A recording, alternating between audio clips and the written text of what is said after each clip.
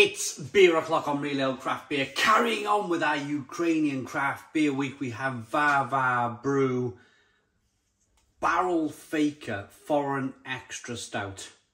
This beer is coming in at 7.6% ABV, 47 IBUs. It's in a 330 milliliter Red Bull style tall thin can. So the reason why it's called barrel faker is instead of putting the the beer in barrels, they've actually put wood chips in the beer. A bit like what Innis and Gunn do with their rum finished, whiskey finished beers you see in the supermarkets. It's all wood chips rather than actually putting the beer in barrel. Let's get the beer out and into a glass, see what we get. Oh, look at this. Look at this. That looks tremendous, doesn't it? We got a two to three finger. I reckon it's a two finger tan coloured head. It's a jet black beer in the glass. No light bleeding through whatsoever. Absolutely tremendous looking stuff.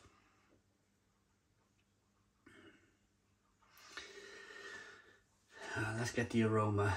So just to finish off on the look of the beer then, it, it looks to be, it, it's not kind of, there's no, no bits and pieces floating around. There's no yeast or anything like that in the beer. So a relatively clean looking stout. Let's get the aroma. Oh, that's really interesting. Weirdly, first aroma like a rose petal or something like that, along those lines.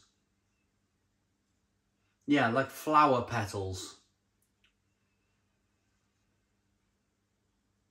That's really interesting. A really sweet stout maybe with with floral hops. It's very, very floral, very flowery. That's very unique for a stout. Very unique. Normally you're picking up aromas of chocolate and coffee and caramel. Not, not here, absolutely not. You are a little bit, but it's, it's, it's dominated by a floral. Like you just put your face in a, in, in, in a bouquet of flowers. Really interesting. Parma Violets. Remember Parma Violets? It's got a weird Parma Violet vibe about it. Anyway, let's dive in. Cheers, everybody.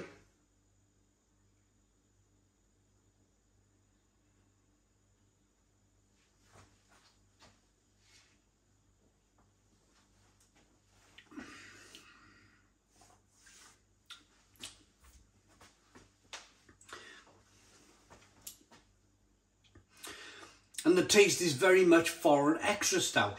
You get that pipe tobacco smoke. You get that bitterness, that, that definite roasted malt.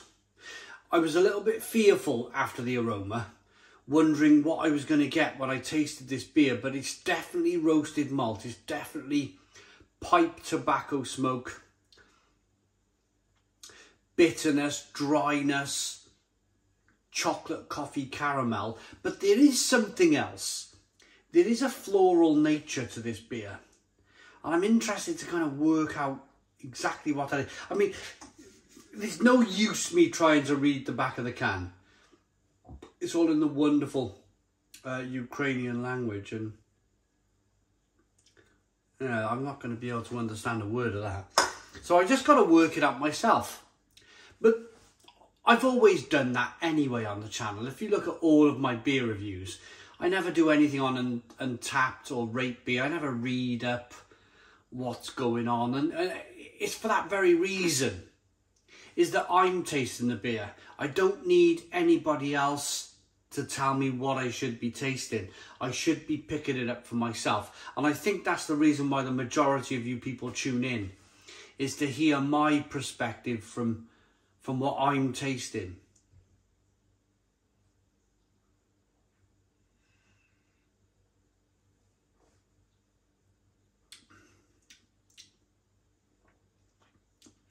It's a strange beginning. It really is. I can't quite work it out.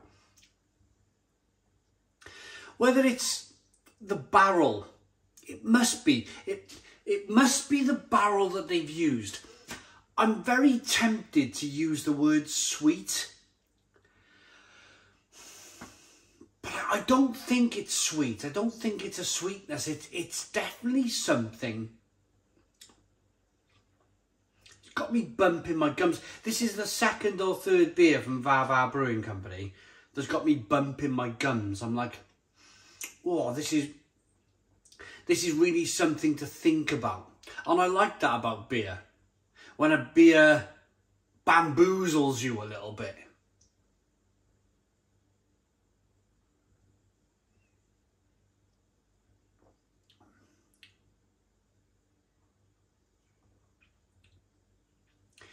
It's like a sweet cherry or...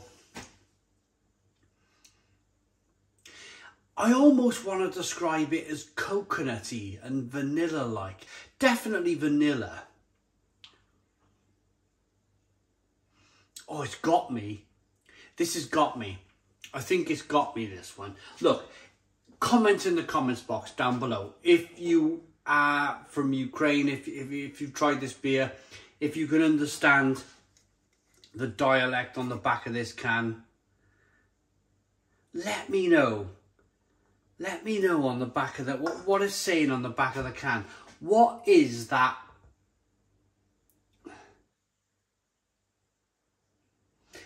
Maybe it's brown, it might be brown sugar, it might be like a molasses or something, like a, like a brown sugar.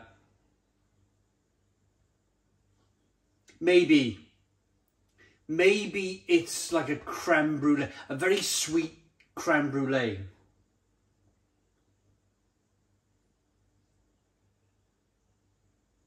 Oh, it's blooming interesting though. It's really interesting. It's got me, it's, it's really got me, you know, sometimes, look, you guys have been watching me for years. Sometimes you can see me doing a beer review where I'm going through the motions. I'm, I'm talking chocolate, coffee, caramel and you know, and I'm like, oh, yeah, yeah, you know, bloody, bloody, blah. You know, I'm, I'm just passing time. And then there's other times on the channel where you can think, in this instance, where I'm really having to, like, think on my feet here. I'm really having to, like, put all of my brain power into, into what I'm trying to taste.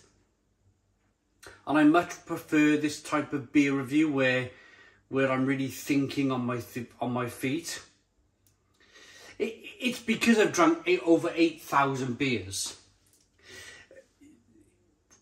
Being the best plumber in the world, at the end of the day, you're still going to be ready to retire at the end of it all, aren't you? You're still going to be like, I've done enough of this now, I want to do something different. Um, I'm not saying I've, I've had enough and I want to do something different. What I'm trying to say here is, is that there's some beers that I review where I'm not even really engaging my brain. I know what I'm tasting. It's a very comfortable place to be. It's a comfort zone. I'm not being pushed.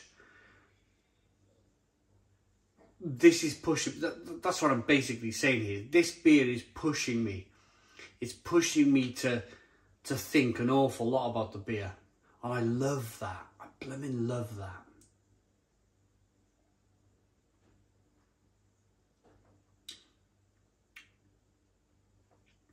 because it's floral, it's Parma violet, it's creme brulee, it's flowery, it's just unbelievable. Roasted malt coming through, bitterness, it's terrific. Maybe it's the hops. Maybe Varvar Brewing Company have found a terrific hop that they've used in this beer that's completely bamboozling me. There's a look at it. Terrific looking beer. Absolutely, absolutely wonderful. It really is. It's another, I put, I put one of their cans up in the cupboard, the Test Drive IPA. It's another beer, it's another beer can that I've got to somehow fit into this cupboard because it really is tremendous beer, it really is.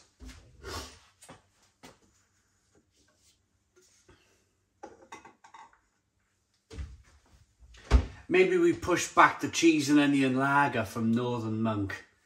The cheese and onion lager was really interesting, but um, maybe maybe this barrel aged or barrel faker stout from Var Brewing Company needs to be in that cupboard. Yeah, it's really good. I'm going to rate it. Fantastic head retention, great ABV, lovely, lovely look to the beer, great aroma, fantastic taste. Mm. I like it. I like it enough to give it a Stone the Crows 10 out of 10. It's a 10 out of 10 from Real Craft Beer for curiosity alone. The fact that I'm really curious about this beer and, and what the actual ingredients are is the reason why I've given this beer a 10 out of 10. Thanks for watching. I hope you liked the beer review. Please put your comments in the comments box. Subscribe to our daily beer and food reviews. Give us a big fat thumbs up. Boom. Cheers.